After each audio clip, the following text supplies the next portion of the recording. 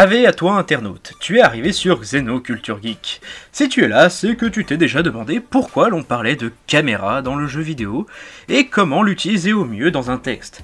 Eh bien, tu es tombé au bon endroit mon cher ami. Ici Mungetsu, bienvenue dans Transmedia, l'émission qui aborde le jeu vidéo et ses relations avec différents médiums, et aujourd'hui on va parler de la caméra.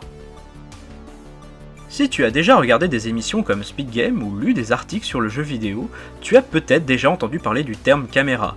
Inconsciemment ou non, la plupart des personnes comprennent qu'il s'agit de ce que peut observer le joueur à l'écran. Mais ceci manque un petit peu de précision et il est difficile de voir le rapport avec la caméra en tant qu'objet cinématographique.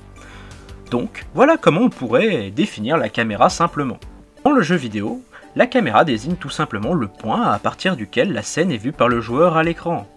Ceci vient du fait que le jeu vidéo s'affiche comme n'importe quel film au cinéma. L'on comprend alors un peu mieux le terme de caméra qui fait alors référence à l'appareil utilisé au cinéma pour la prise de vue. Le terme de caméra est donc assez simple, mais il faut faire attention à comment l'utiliser dans un texte, au risque de créer des confusions chez ton lecteur. Donc voici quelques petits conseils pour t'aider. D'abord, si tu écris un article uniquement sur le jeu vidéo, il ne devrait pas y avoir trop de problèmes. En cas de doute, tu peux toujours ajouter la définition en note de bas de page pour aider les néophytes dans ce domaine. Par contre, là où ça va se compliquer un peu, c'est pour les textes qui abordent le cinéma et le jeu vidéo en même temps. Mais là encore, tu vas voir que c'est pas trop compliqué. D'abord en regardant le contexte d'utilisation. Si vous, l'auteur, parlez dans une phrase de cinéma, il s'agira de la caméra cinématographique. A l'inverse, il s'agira de la caméra vidéoludique. Dans les cas les plus complexes, fais comme moi à l'instant, ajoute le mot cinématographique ou vidéoludique. Ainsi, ton lecteur comprendra que tu parles de l'objet ou du point de vue. Bien évidemment, il ne s'agit ici que de quelques conseils, et il s'agira à toi de l'adapter à ton style d'écriture. Pour continuer, il existe des usages particuliers qu'il est intéressant de connaître.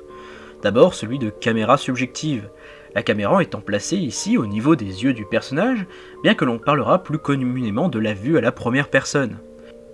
Ensuite on trouve la caméra objective, qui désigne ici une caméra qui peut se placer librement autour du personnage et plus généralement derrière lui pour suivre ses mouvements.